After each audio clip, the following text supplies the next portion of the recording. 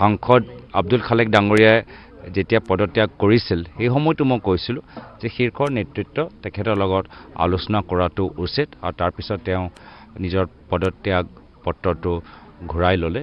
মই একে আশা কৰোঁ যে ভৰত নৰ ডাঙৰীয়া আমাৰ দলৰ খুব জ্যেষ্ঠ এজন নেতা তেওঁ ক্ষোভিত হোৱাটো স্বাভাৱিক আৰু আমাৰ দলৰ শীৰ্ষ নেতৃত্ব তেখেতৰ লগত আলোচনা কৰাটো উচিত।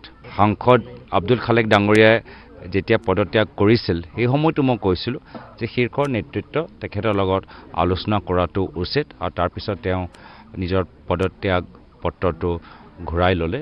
মই একে আশা কৰোঁ যে ভৰত নৰ ডাঙৰীয়া আমাৰ দলৰ খুব জ্যেষ্ঠ এজন নেতা তেওঁ ক্ষোভিত হোৱাটো স্বাভাৱিক আৰু আমাৰ দলৰ শীৰ্ষ নেতৃত্ব তেখেতৰ লগত আলোচনা কৰাটো উচিত। সাংসদ আব্দুল খালেক ডাঙৰীয়াই যেতিয়া পদত্যাগ কৰিছিল সেই সময়তো মই কৈছিলোঁ যে শীৰ্ষ নেতৃত্ব তেখেতৰ লগত আলোচনা কৰাটো উচিত আৰু তাৰপিছত তেওঁ নিজৰ পদত্যাগ পত্ৰটো ঘূৰাই ল'লে।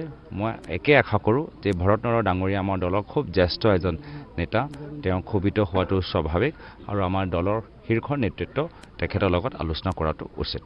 সাংসদ আব্দুল খালেক ডাঙৰীয়াই যেতিয়া পদত্যাগ কৰিছিল সেই সময়তো মই কৈছিলোঁ যে শীৰ্ষ নেতৃত্ব তেখেতৰ লগত আলোচনা কৰাটো উচিত আৰু তাৰপিছত তেওঁ নিজৰ পদত্যাগ পত্ৰটো ঘূৰাই ল'লে মই একে আশা কৰোঁ যে ভৰত নৰ ডাঙৰীয়া আমাৰ দলৰ খুব জ্যেষ্ঠ এজন নেতা তেওঁ ক্ষোভিত হোৱাটো স্বাভাৱিক আৰু আমাৰ দলৰ শীৰ্ষ নেতৃত্ব তেখেতৰ লগত আলোচনা কৰাটো উচিত। সাংসদ আব্দুল খালেক ডাঙৰীয়াই যেতিয়া পদত্যাগ কৰিছিল সেই সময়তো মই কৈছিলোঁ যে শীৰ্ষ নেতৃত্ব তেখেতৰ লগত আলোচনা কৰাটো উচিত আৰু তাৰপিছত তেওঁ নিজৰ পদত্যাগ পত্ৰটো ঘূৰাই ল'লে মই একে আশা কৰোঁ যে ভৰত ডাঙৰীয়া আমাৰ দলৰ খুব জ্যেষ্ঠ এজন নেতা তেওঁ ক্ষোভিত হোৱাটো স্বাভাৱিক আৰু আমাৰ দলৰ শীৰ্ষ নেতৃত্ব তেখেতৰ লগত আলোচনা কৰাটো উচিত। সাংসদ আব্দুল খালেক ডাঙৰীয়াই যেতিয়া পদত্যাগ কৰিছিল সেই সময়তো মই কৈছিলোঁ যে শীৰ্ষ নেতৃত্ব তেখেতৰ লগত আলোচনা কৰাটো উচিত আৰু তাৰপিছত তেওঁ নিজৰ পদত্যাগ পত্ৰটো ঘূৰাই ল'লে। মই একে আশা কৰোঁ যে ভৰত নৰ ডাঙৰীয়া আমাৰ দলৰ খুব জ্যেষ্ঠ এজন নেতা।